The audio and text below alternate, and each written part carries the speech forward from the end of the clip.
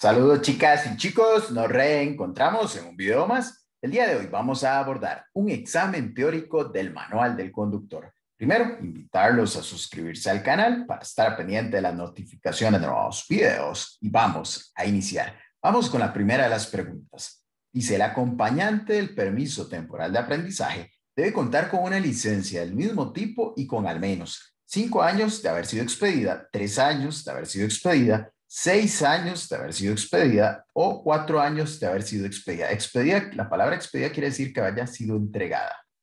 En este caso, el, la opción que completa correctamente es cinco años. Debe tener una licencia del mismo tipo que el conductor aspira y el futuro conductor aspira y debe tener al menos cinco años de haber sido entregada.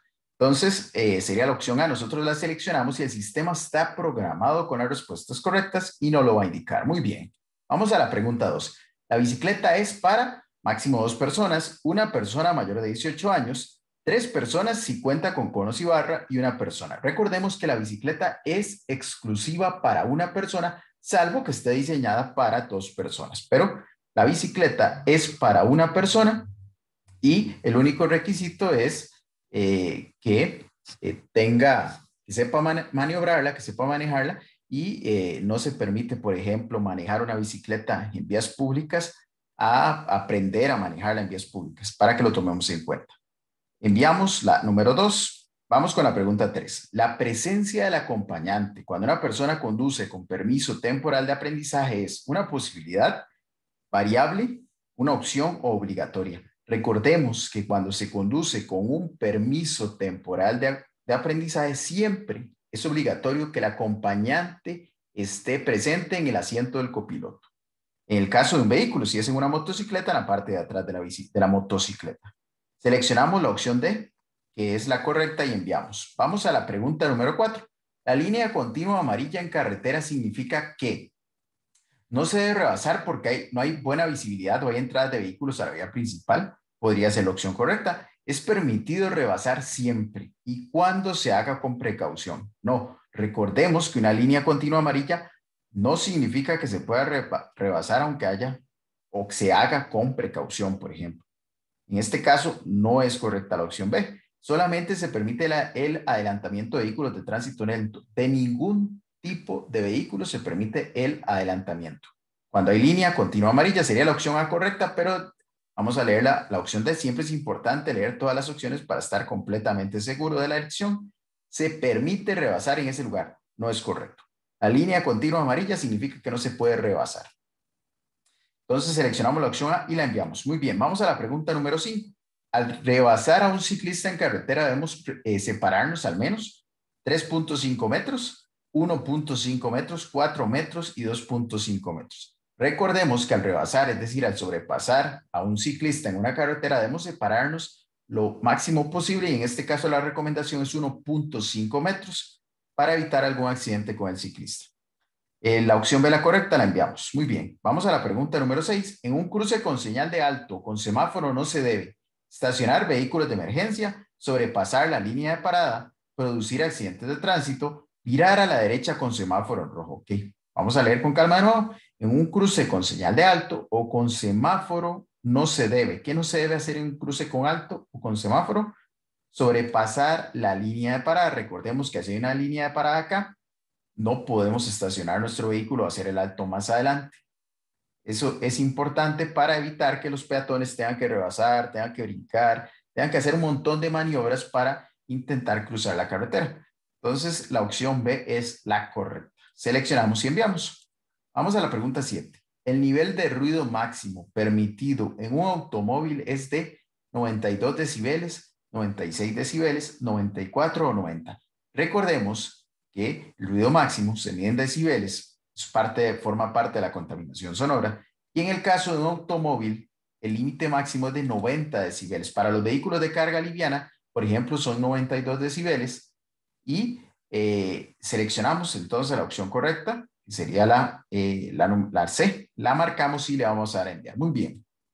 Vamos a la siguiente pregunta. Dice, ¿qué significa la siguiente señal de tránsito que se muestra en la imagen? Veamos la señal, es una señal de prevención, es una señal vertical de prevención. ¿Y qué significa? tránsito entrando, carretera resbaladiza, fin de carril de tránsito lento o cruce adelante. En este caso, vean acá, van dos carriles, pero uno se, se, está por acabar, entonces el fin de carril de tránsito lento es lo que nos está indicando la imagen que estamos mostrando en la pregunta número 8.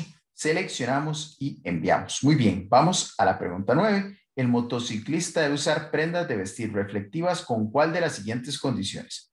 Siempre, solo con lluvia y truenos, solo en la época seca, solamente en noche. Eh, pero solamente de noche, perdón. La opción correcta es la opción A. El motociclista, igual que los ciclistas, deben usar prendas de vestir reflectivas siempre. Tienen que anotarse en carretera siempre. No importa si está lloviendo o estamos en época seca, no importa si es de día o de noche. Hay que usar prendas de vestir reflectivas siempre. Seleccionamos la opción A y la enviamos. Muy bien. Vamos a la mitad de este examen. Recordarles que todos los capítulos, todas las pruebas que tenemos para practicar están disponibles desde socrative.com, plan Socrative, o bien pueden escribirnos al número que queda en la descripción del video para que puedan optar y practicar los más de 300 ejercicios que tenemos disponibles a la fecha. Vamos a la pregunta 10. Menores con edad por debajo de no deben viajar en asientos delanteros de los vehículos. Menores por debajo de los 10 años, menores por debajo de los 12 años no deben viajar en los asientos delanteros de los vehículos de 13 o 14. Recordemos que los menores de 12 años no pueden viajar y no deben viajar en asientos delanteros de los vehículos. Para ellos deben, ellos deben ir en unos asientos especiales según la edad y eh, en el asiento trasero sujetados de manera correcta con el cinturón de seguridad. Entonces, la opción correcta en este caso es la B. Muy bien. Vamos a la pregunta número 11. La imagen que se muestra a continuación es una señal. ¿Qué significa? ¿Qué significa esa señal? Significa puente, tránsito entrando, cruce adelante u obstáculo en la vía.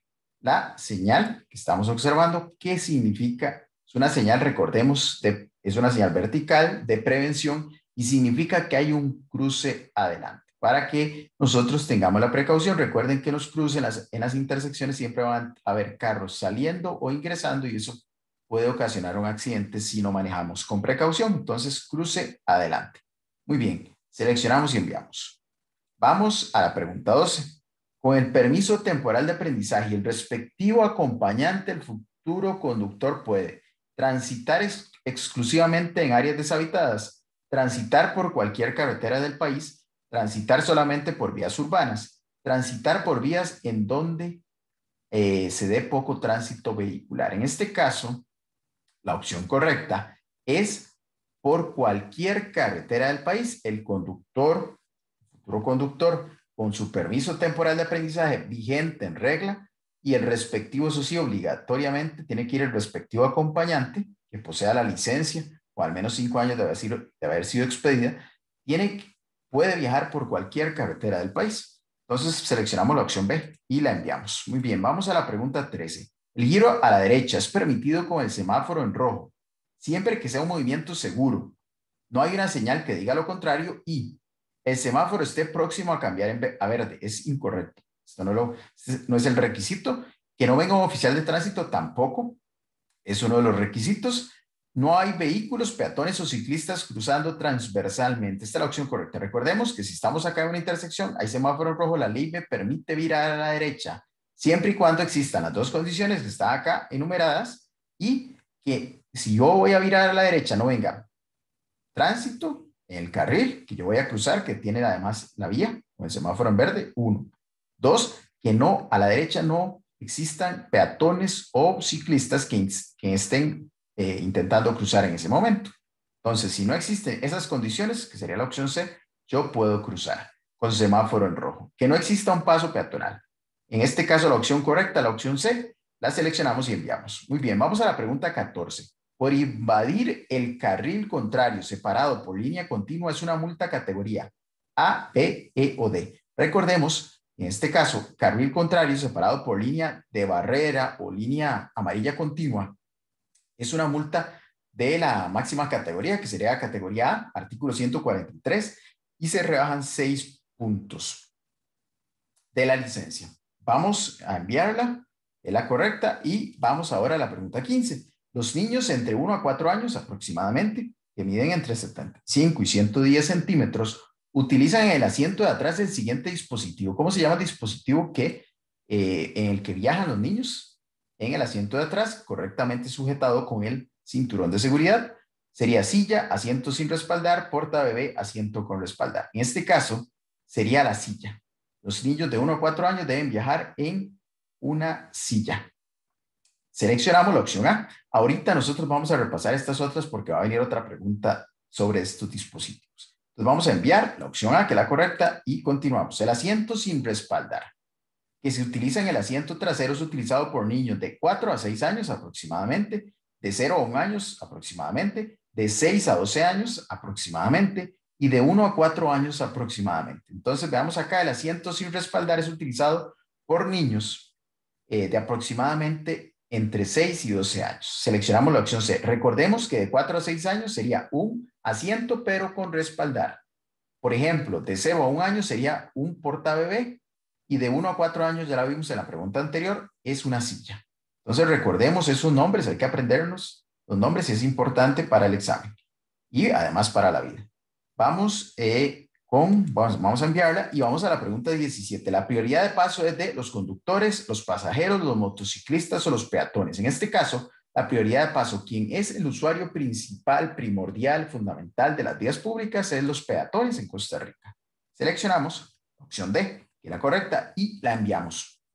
Vamos a la pregunta 18. Estamos por finalizar. Recuerden que este examen, junto a todas las demás etapas, están disponibles desde socrates.com también están disponibles en la descripción para que ustedes puedan ver con calma los materiales, revisarlos. Y si gustan practicar, adquirir un plan, pueden escribirnos al número que queda acá anotado para que se suscriban. Por adelantar intersecciones, curvas o en puentes es una multa de qué categoría? C, A, D o E, o B, perdón. En este caso, por adelantar intersecciones, curvas o en puentes que son acciones muy peligrosas, es una multa de la máxima categoría, que sería categoría A, menos 6 puntos de la licencia, seleccionamos la opción A y la enviamos. Muy bien, vamos a la pregunta 19. En una señal de alto hay que frenar siempre que hayan peatones esperando cruzar, darle prioridad a la, señal de sea, detenerse por completo, detenerse solamente si vienen vehículos en el carril contrario. Recordemos que si hay una señal de alto, vengan o no peatones, eh, si tenemos buena visibilidad o no tenemos buena visibilidad, no importa la condición que sea, la señal de alto hay que detenerse siempre y detenerse antes de la línea de parada. Entonces, para no obstaculizar eh, la carretera.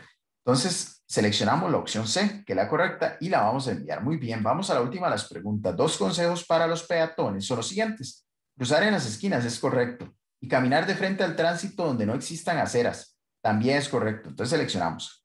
Vamos a, revisar las demás. Revisar el celular mientras camina. No, esto no es recomendado y cruzar en las esquinas, ya dijimos que sí, entonces la opción B se descarta porque esta parte no. Escuchar música mientras camina no es recomendado. Ir pendiente de sus pertenencias, sí, pero no es una de las recomendaciones según el manual del conductor. Caminar por la línea férreas está eh, prohibido, entonces no se puede hacer. Y cruzar con el celular en la mano tampoco es recomendado hacerlo. Entonces la opción a la correcta, nosotros la seleccionamos y enviamos. Muy bien, estamos llegando al final de esta etapa invitarlos a suscribirse al canal, seguirnos en redes sociales y nos estaríamos viendo en un próximo video. Saludos.